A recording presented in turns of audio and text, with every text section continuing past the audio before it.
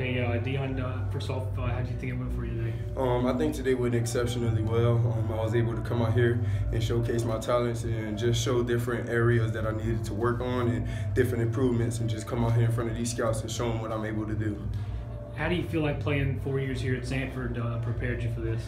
With these coaches, they really prepared me for anything. The game of football prepares you for all things in life, and I kind of had to step back from football just to experience that.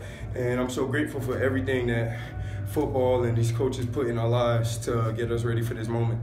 What do you want uh, these teams to know that you bring to bring to a to an NFL team? Um, my leadership and my character. You know, um, I go out and I'm gonna work hard. Every I'm gonna give you all I got, and help the players around me do better, work better, and get better.